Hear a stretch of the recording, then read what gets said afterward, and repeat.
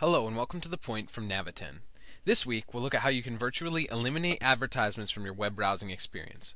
We'll look at the process for three different web browsers Internet Explorer, Mozilla Firefox, and Google Chrome. We'll start with Mozilla Firefox. These instructions are for version 4, which was released on March 22nd.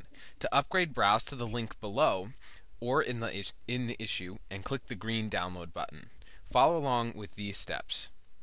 Browse to the link shown on the screen now. It's also the link uh, included in the video description on YouTube. And uh, you want to click the, I have that link open here, and you want to click this green Add to Firefox button. On the window that appears, you have to wait for this countdown to finish and then click Install Now. And the installation will finish, and you click this Restart Now button. If you're prompted to, I was not prompted to uh, subscribe to a specific filter list, but if you are, just choose the default option, Easy List. And that's it for Firefox. 99% uh, of the advertisements that you typically see should now just disappear. Now we'll look at the steps for Google Chrome. You browse to the link included in the issue or in the YouTube description and uh, also on the screen right now, and you'll find the Chrome uh, Web Store AdBlock Plus extension.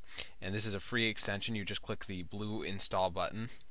And this is the simplest installation of all. You can see it's it's already finished, and uh, you can just close this message, and web advertisements should disappear. And now finally, we'll look at Internet Explorer. It's important to note that there's no free and reliable ad blocker available for Internet Explorer currently. Uh, Simple AdBlock is among the best payware options available and it's available for 30 days with the limitation that it will only block up to 200 advertisements per day. Uh, the full version, which can be used on three separate computers, is available for about $30. Again, it's simpleadblock.com, and you choose the Download Now button. And you have to click Download Now on several different screens before you finally get the download. I think this is the final one here. And then Internet Explorer will prompt you with a security warning um, by default, and you'll have to click this yellow bar that appears and choose Download File. I'm just going to choose Run.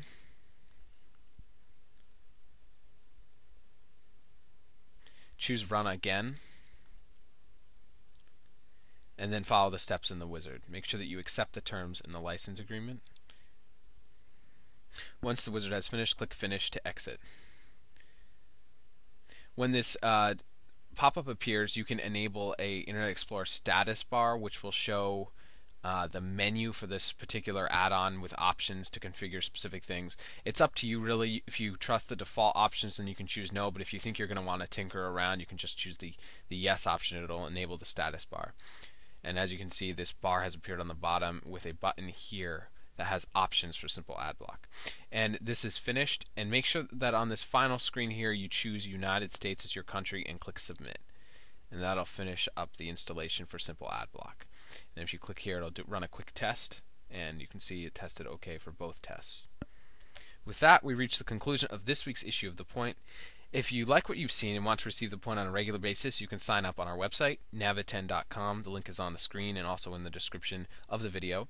If you have an unanswered tech question, feel free to email it to me, uh, pbeach, that's P B E A C H, at navitend.com. That email address is right there on the screen.